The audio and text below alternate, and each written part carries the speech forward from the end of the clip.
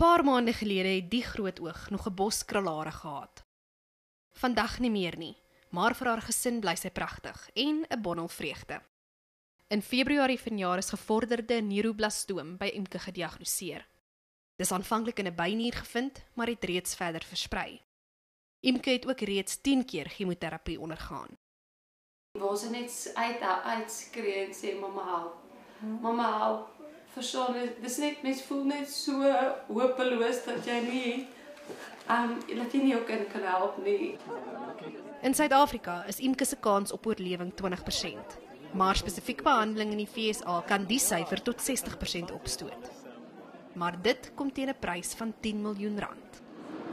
Daarom het Frank Pretorius en Wieke Olivier vandag op hulle fietses geklim en die tog van Pretoria na Tsanin begin aandurf. Hulle gaan by verskeie dorpe op pad stilhou om geld in te samel. Geldenhuis sê hulle is verstom deur die hulp wat mense aanbied en die helfte van die bedrag is reeds bymekaar gemaak. Ons het nog 'n een fonds insameling self gereël nie. Mense het net self gegaan.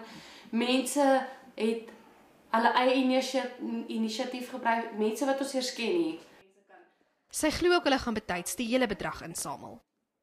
Waar kan mens in 'n kwessie van 6 weke 5.8 miljoen rand insamel? Dis net deur God se genade wat ons dit dit reg kry.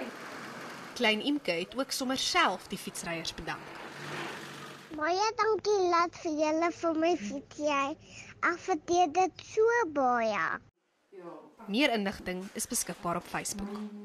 Karla Kutse, Unies, Pretoria.